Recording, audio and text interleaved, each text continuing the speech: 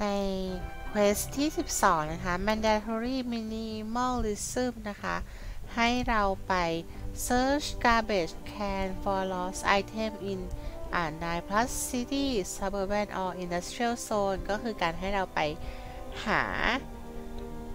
ให้ค้นหาถังขยะนะคะสำเพื่อที่จะหาไอเทมที่หายไปในโซน Power 9 ขึ้นไปใน map ที่เป็น city เป็นเมืองเป็นชานเมืองหรือว่าโรงงานอุตสาหกรรมก็ได้นะคะ ก็จะมีทั้งหมด 5 อันค่ะ หลังจากที่เข้า map มาแล้วนะคะ เราก็จะต้องทำการตามหาเจ้าถังขยะเพื่อหา item ที่หายไปก็นี่นะคะ นี่เลยเซอร์ a ทชแคนใบแรกมาแล้วค่ะ ใบที่2ขึ้นมาใน map แล้วเราก็จะต้องทำการหาให้ครบ ทั้งหมด 5 ถังนะคะ ซึ่งถ้าไม่ครบภายใน match เดียวเนี่ยก็จะต้องหาใน match ต่อไปนะคะ พยายามตามหาให้ครบ 5 ใบใน match เดียวค่ะ ก็จะได้ไม่ต้องเสียเวลาเล่นบ่อยๆสำหรับ mission เดียวนะคะ เราจะได้